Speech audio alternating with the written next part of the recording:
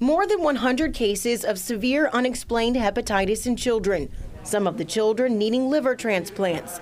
At least five have died, according to the CDC. I think the main message that we're trying to figure out is what what is this? What what's causing this apparent increase uh, in the number of cases? Here in Greater Cincinnati, seven children are being treated at Children's Hospital under Dr. William Balistreri and his team. What's new is that there seems to be an apparent spate of cases.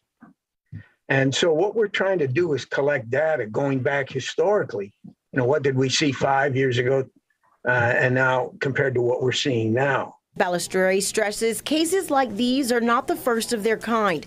Seeing cases like this only once every couple of years, but now they are seeing reports of similar cases within months. The pediatricians and primary care doctors, family medicine doctors are taking that extra step and they're actually measuring liver enzymes. An elevated count of enzymes and no explanation for their hepatitis now links these cases together. To be clear, we are calling all of these, as does the World Health Organization, probable cases. There's no hallmark. More research will be needed to pinpoint what is the exact cause. Now, Dr. Balistreri says that during that research, there is a link between these cases and the pandemic. He says if your child is, is showing symptoms of either dark urine or yellowing of the eyes, to take them to a physician immediately. Live here at Children's, Lacey Roberts, WLWT News 5.